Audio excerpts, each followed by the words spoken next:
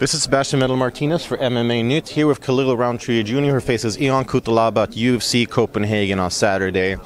So, Khalil, it's a long trip for you, uh, but as you mentioned before, you're still staying warm from the Thai weather. Uh, how are you enjoying Copenhagen so far? So far, so good. Yeah, it's beautiful. People are cool. Shopping is good. Yeah, weather is cold but nice. Yeah, I enjoy it. And as I mentioned, you're you know making you've been uh, training in Thailand a lot recently, and I think that's something that many people have noticed has been paying dividends in your fighting style. A lot of people reacted to how finely tuned your Thai boxing was against um, Eryk Anders. When you look at your look back at your own career and you see this difference in your striking style, how much of an impact do you feel it's made on your overall career? Thailand. Yeah, Tiger Muay Thai. Um, I think it's made a good impact in a way of I never really had a martial arts foundation. Um, when I first started MMA, I just went to lose weight and joined an MMA gym, and it just kind of happened that way. Um, and so I never had one discipline. Um, I've always enjoyed striking, but I never got to learn the culture and like like martial arts philosophy of one discipline. So going to Thailand and being able to learn that and embrace that um, has been just like kind of like a piece that I was missing inside as a mixed martial artist and a martial artist. I think um, to be able to go learn tradition and, and things like that has been it's been really good. Yeah, it's very impactful. And is there any part of you that would be interested in competing in Muay Thai? Just because it seems like you've just adapted it so well to your game so far. Yeah, um, I would absolutely love to just fight Muay Thai. You know, like if if I was able to, um, you know, make a living and support my family only fighting Muay Thai, that's probably what I would be doing instead of MMA. Um, but this is what I do. This is the, you know, this is like where I'm at. This is the current situation, and so um, I just embrace it and do the best that I can with the tools that I have. And so you're facing a guy, in Ion Cutelaba, who I guess intense, and you know he usually lives up to his nickname, the Hulk, because he does come in very hard on his opponents, especially in the opening round. Uh, that must change a little bit in training that you're dealing with someone who tends to open as intensely as he does. Mm, I don't think anything necessarily changed in training. Um, my coaches and, and myself, we know and have an idea of what I'm going to be going up against, but um, it's not like we didn't really change like too much. You know what I mean? I, I just now have a little bit of um, knowledge and expectation of like you know kind of what to expect, but um, yeah, it didn't it didn't really change much. Yeah.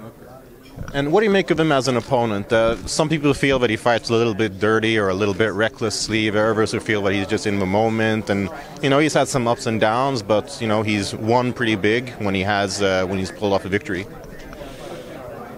Overall, the like the simplest answer I can give you is like I think that it's just that it's a good matchup for especially for um, for MMA fans who like to see you know tough fights of like two like strong opponents. I think that it's just a good matchup overall. And w- was this the first fight was offered to you? Because it seems like you're obviously very interested in it. Hmm. I may have gotten offered one or two other fights before, but um, the timing didn't match up because after my fight with Eryk, I went home for a little bit to see my family because I'd been away for a really long time and so I just didn't, you know, I wanted to be able to spend some quality time with my family, so the timing didn't match up. So once I told them I'll be ready around this time, then this is the opponent, and then that's how it happened. And what would you say is the key to, to defeating him? Because obviously, I mean, he has had ups and downs before, but he's not necessarily the easiest guy to tackle. So, what would you say a key to victory against Cutelaba? Hmm.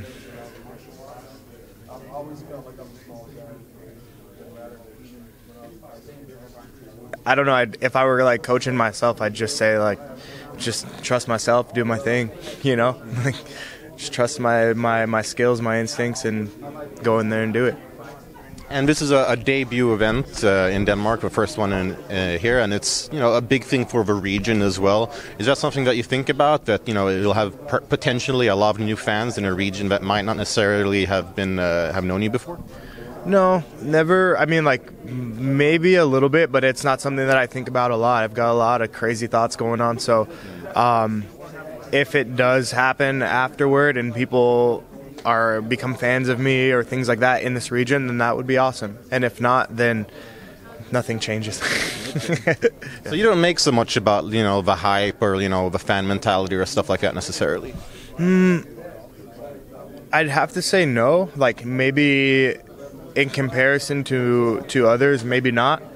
Um, I really just I do what I love to do, and regardless if people like it or don't, I just try to make sure that I stay happy, man. You know, like I can't really put my my self worth or like motivation and things in in the hands of others because then it's like I don't know if I can't really trust that they'll carry me. So as long as I'm as long as I'm happy and and fulfilling what I truly want to do, I think it'll be I think everything will be good. And if people join after, then like even better. And if not, like I said, I'm in the same boat.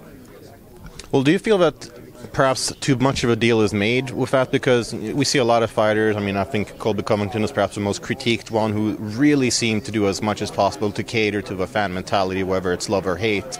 Uh, and a lot of people have been critical of that, that saying that you know it's like a new era of a money era, of a McGregor era. Do you think that's a bit of a problem that people are focusing too much on that stuff? Mm, I can't really call it a problem. Um, UFC like is a gigantic company. Um, they have all the tools that you know that they need to do whatever they want to do. You know, like it's their company.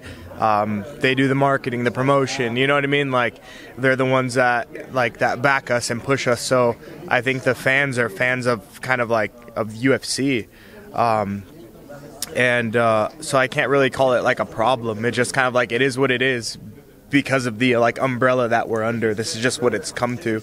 Um, yeah, it's just like it's evolving, you know. It just and it'll probably change within the next couple years as UFC evolves. You know what I mean? It's just we're like in an era of this is like the money era, or you know what I mean? Kind of like the yeah, like the money era, the the, the sell tickets era. But you know, maybe maybe it'll change. Who knows? And so, as I mentioned before, you will potentially have some new fans who might not necessarily have heard of you before, who perhaps will be more familiar with like the European fighters. For those fans who will be seeing you for the first time at the Royal Arena, what do you think they should expect of your fight with Cutelaba? Hmm. Um. Well, my goal is just like good skill, good skill, good character, and victory. So expect that. There you have it. Good skill, good character, and victory in the bout between Khalil Rountree Jr. and Ion Cutelaba, UFC Copenhagen. Again. Thank you very much, and good luck in the fight. Thank you, man.